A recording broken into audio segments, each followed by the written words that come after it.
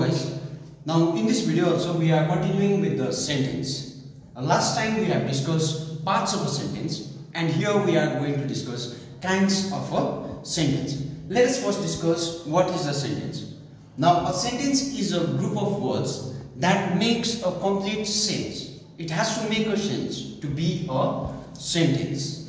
Suppose if i say my name is remas chetri that is a group of words and it also makes a sense. So that will be a sentence.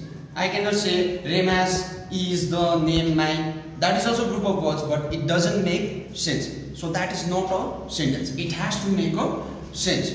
Now sentences are of four types. There are four types. So kinds. So four. Number one is your assertive sentence. Next one, your interrogative sentence. Number three,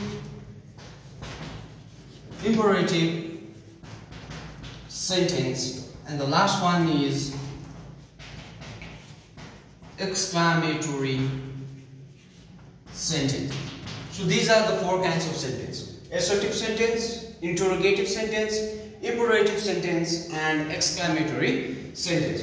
Now let us discuss the first one, assertive sentence. Now what is an assertive sentence?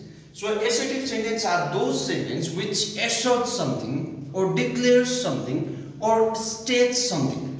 That's why they are also called declarative sentence and also statement because they state, they declare something. Suppose if I write here, just the first example, um, my name is Remas.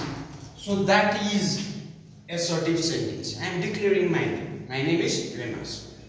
Then if I write here, I teach English grammar is an example of assertive sentence. Now these assertive sentences are divided into two parts. There are, number one is affirmative or positive and number two is negative. So these are the parts of assertive sentence. So if you look at this sentence, I teach English grammar, this is your assertive or sorry, affirmative sentence. If I add here, I do not teach English grammar, this is your negative sentence, not it will be your negative sentence. So whenever there is negation in a sentence, no or not, that will become your negative sentence. Otherwise that is called affirmative sentence, but both are assertive sentence in a whole. Okay. So next one, interrogative sentence. Interrogative sentences are those question, sorry, those sentences which ask question. They are used to ask question and they always end with a question mark. Suppose if I write here, what are you doing? What are you doing? This is your interrogative sentence. If I ask, do you like my videos? That is also interrogative sentence. Now imperative sentence. Now in imperative sentence, you have to remember there will be order, command, request, advise, prohibition,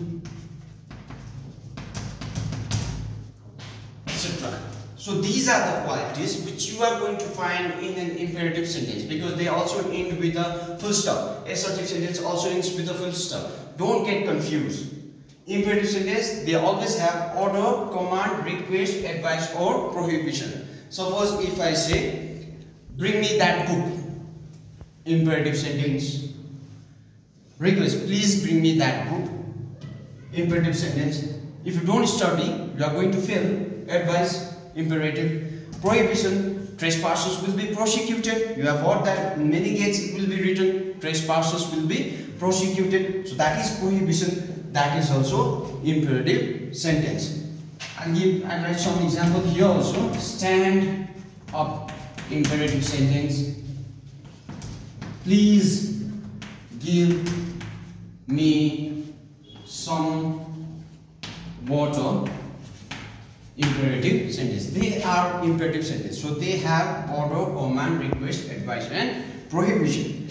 Now exclamatory sentence. Exclamatory sentence, they are sudden excitements or feelings. Okay, they are sudden excitement or feelings and they always end with an exclamation mark. At the end, you'll find this sign, punctuation that is exclamation mark. Suppose if I write here, uh,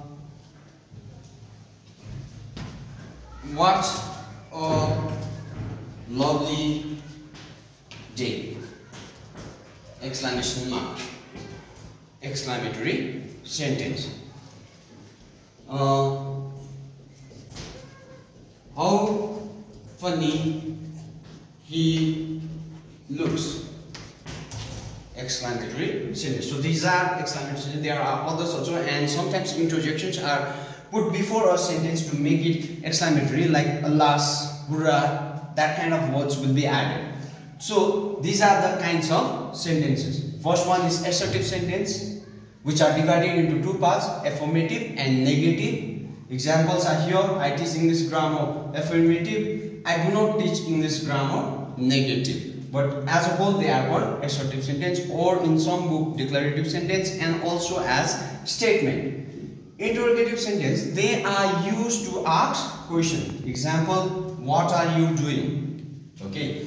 Next one imperative sentence they end with a full stop but they have order command request and advice plus the prohibition. So some of the example i have written here stand up please give me some water etc and exclamatory sentence they are the sudden excitement and feelings which comes out like when we see the day, lovely day, we say what a lovely day. How funny he looks with an exclamation mark at the end. So they are called exclamatory sentence. Thank you.